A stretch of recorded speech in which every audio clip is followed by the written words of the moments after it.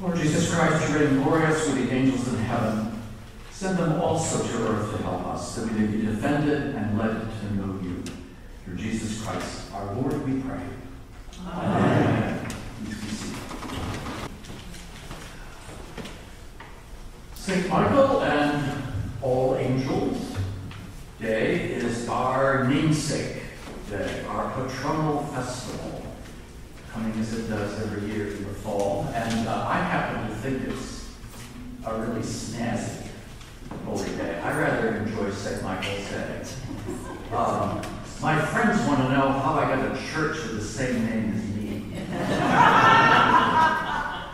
you know, people do this double take when I give my business card. Oh, oh, you're Michael. Oh, and the church is Michael. I'm tempted to say, but then I know it would not be fair to say, well, you know, they decided to name the church after me when they called me as pastor.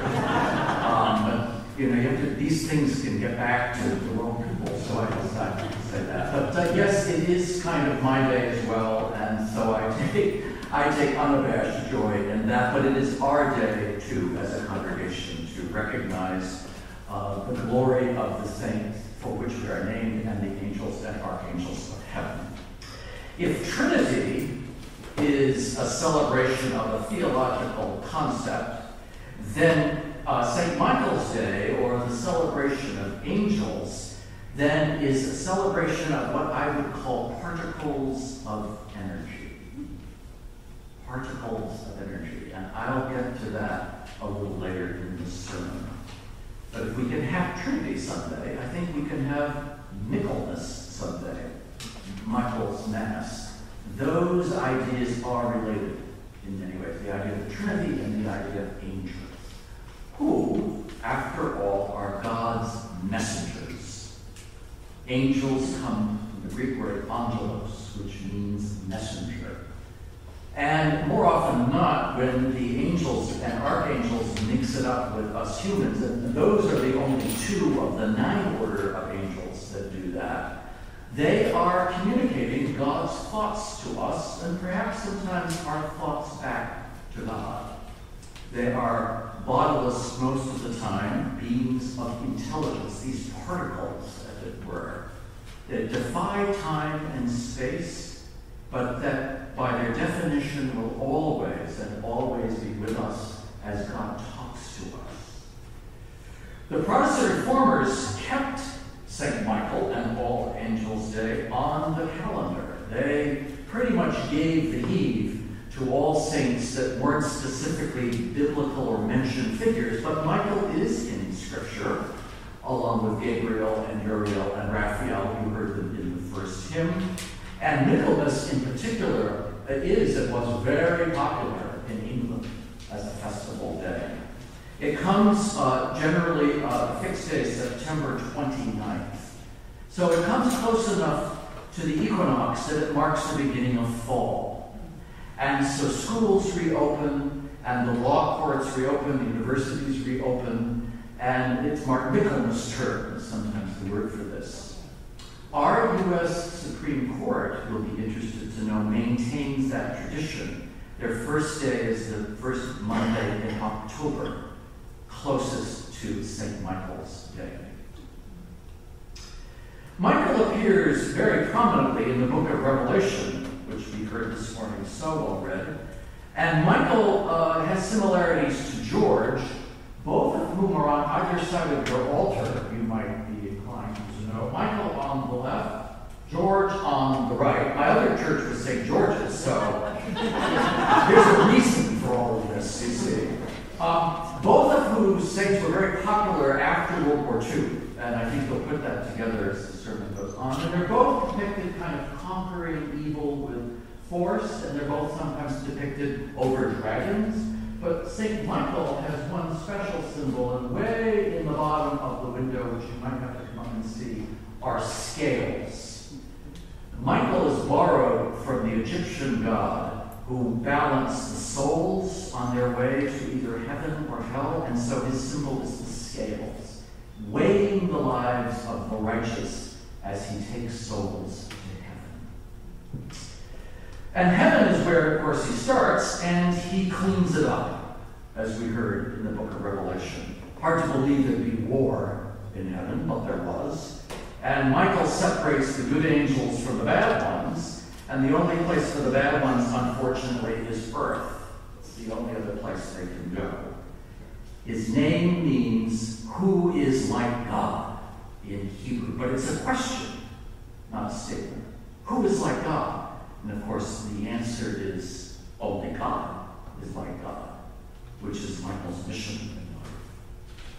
So Michael needs to continue his work not only in heaven but on earth by defending us, fighting for us, protecting us, because he has set boundaries around evil.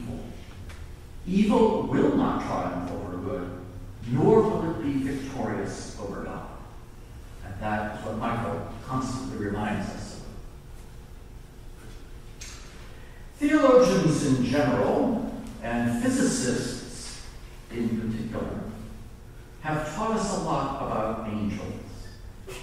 Now, on the theological side, they appear in the Nicene Creed, where they are referenced as part of God's created order. All things seen and unseen. Exactly. The nod to angels, that God could have beings, created things around God that can't be seen, but whose effects can be measured and felt. 99% of the time, the angels do their work invisibly, by intuition, by inspiration, by suggestion, by thought. You know when you have that sudden inner voice that tells you to call someone, or to do something, or you happen to be, as you might think, in the right place at the right time to greet someone you haven't seen in a long time, or you're brought together with someone that needs a word of hope or healing those are times when angels, particles of thought, have entered into our lives. Those sudden ideas, those inspirations, answers to prayer, the boundless capacity of God to talk with us, perhaps when we least expect God to do so. Now you're thinking, hmm, how do physicists have anything to teach us about angels? Well, physics has a parallel way of showing us about the created world and its unseen qualities. I don't think you have to be a physicist and sign on to the Nicene Creed to believe that there are things seen and unseen in the world. There are four fundamental forces of nature which are known to us, some of them known for many, many years, indeed millennium, and some known recently. Gravity, electromagnetism, weak nuclear force, and the strong nuclear force. As much as can be understood about these forces, and there is a lot to discover, for example, what exactly is gravity and why does it exist? For example, that and others, all of those are the result, of most physicists agree, of particles not necessarily of matter, but very likely of energy. And in nearly all cases, they can't be seen until their effects can be measured. Do you recall the search for the Higgs boson, which the Hadron Collider was finally able to prove existed? It had been named the God particle by the physicist who postulated it existed. But he didn't exactly call it the God particle. He called it something a little shorter, the GD particle, because he was so frustrated in his efforts to prove it existed when not a trace of it could be seen until the Hadron Collider brought its effects and made it visible. Subatomic particles were not known to exist 100 years ago. There's a famous physics book which says, now that the atom has been discovered, the case is closed, and we know everything about the universe that we need to know. And now we know a lot more. The strong nuclear force is 6,000 trillion, trillion, trillion times greater than gravity. The force that binds molecules in atoms is phenomenally strong. Einstein figured truly sweat for the enormous amount of power that is released. Despite that, the forces of gravity keep us seated here in church so we don't fly off into space. Except when you're singing glorious hymn, and then maybe you start levitating a little. But gravity keeps us here. What is gravity, and why do we stay put? These particles provide electricity, which keeps the lights on in our bodies moving, and they bind atoms into a coherent matter, and yet we know so little about them.